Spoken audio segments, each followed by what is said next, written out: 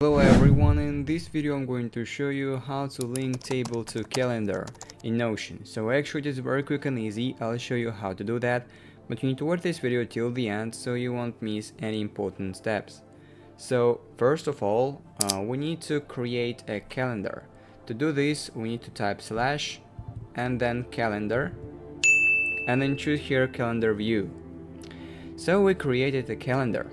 And now to link the table to this calendar, all we have to do uh, is to select the existing database in this list. So of course we need to have an existing database to the to link uh, this database to this calendar. E they are displayed right here.